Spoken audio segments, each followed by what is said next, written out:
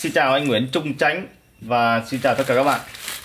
Hôm nay em test sản phẩm của anh là một uh, bộ một mic không dây màu vàng gold sử dụng bằng pin ờ, uh, 18650 và cái bộ này là hiện tại là 385 nghìn. À, Nếu như bạn nào có nhu cầu mua sản phẩm các bạn có thể liên hệ trực tiếp vào số điện thoại Zalo như trên TV video.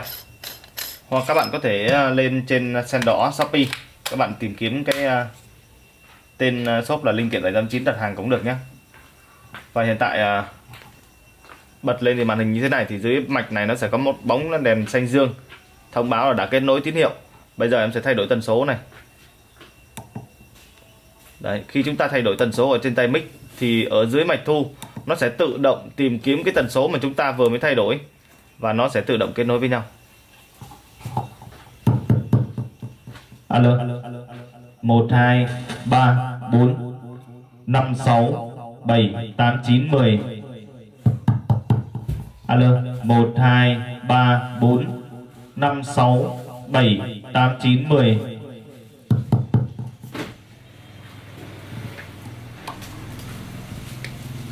Như vậy là tất cả chức năng của cái bộ sản phẩm này đều hoạt động rất tốt.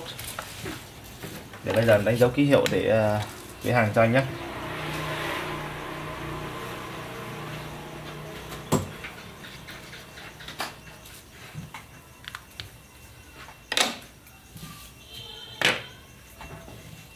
Rồi, trên đây là ký hiệu ờ, cái bộ sản phẩm của anh.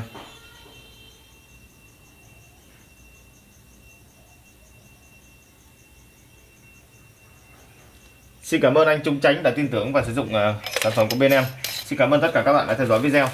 Xin chào và hẹn gặp lại các bạn ở những ờ, video tiếp theo. Chào tạm biệt.